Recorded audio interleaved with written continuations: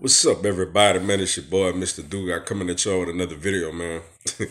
and today, man, I'm going to talk about Mel Kiper Jr.'s mock draft 2.0. Um, he has the Philadelphia Eagles taking wide receiver Tee Higgins, yo. Um, before I get into this video, um, for anyone, if you want to give me a follow on Instagram or send me a friend request on Facebook, I'm gonna have my Instagram and my Facebook information down in the description box. Um, come give me a follow on the gram. Come send me a request on the book. Um, come holler at your boy, yo.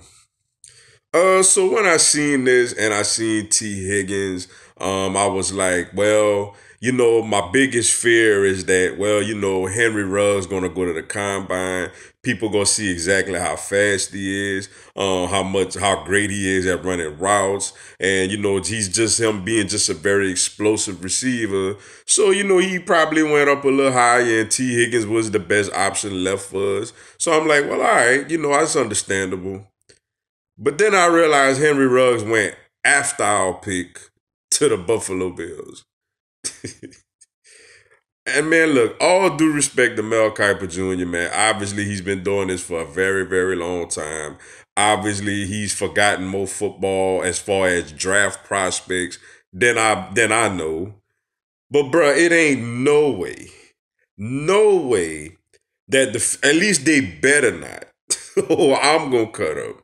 They better not pass on Henry Ruggs the third for Tee Higgins, yo. That would make absolutely no sense. We already have, um, well, I think we're going to get rid of Alshon Jeffery, but we already have JJ Arcega Whiteside. Now, granted, I don't think he's very good. I'm on record saying that, but it's year two, so we got to at least give him an opportunity, you know, to be that possession type of receiver.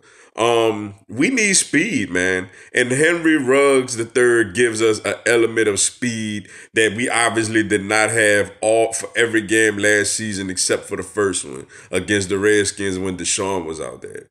Um, now if Henry Ruggs the third goes higher than our 21st pick, you know, and we we settle in on Tee Higgins, I you know, I understand it a little bit as far as, you know, he's the best receiver probably out there. Even though I kind of would still prefer speed than another big body possession wide receiver.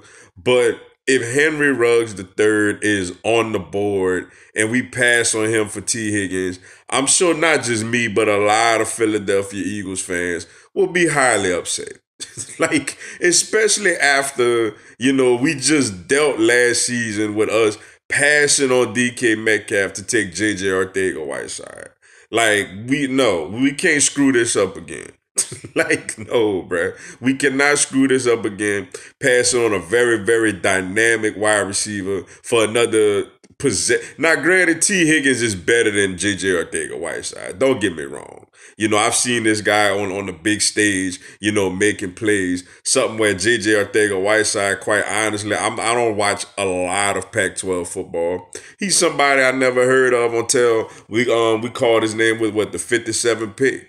Um, so no, like, but with that being said, man, you cannot take him over Henry Ruggs the third, yo. Like you just you cannot do it. I totally, totally disagree with Mel Kiper Jr. on this. Now, like I said, if he went earlier in the draft, which I think once he goes to the combine, he actually has a chance to go higher than 21.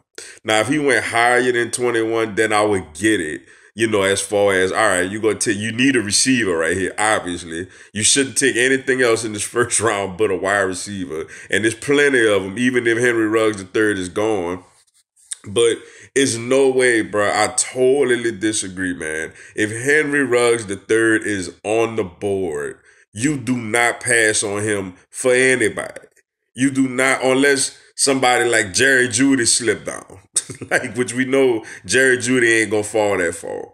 Anything short of Henry Ruggs the third, with him being on the board when we picking, will be an absolute total disappointment. So I, I, I honestly don't think Mel Kiper know what he talking about when it come to this show.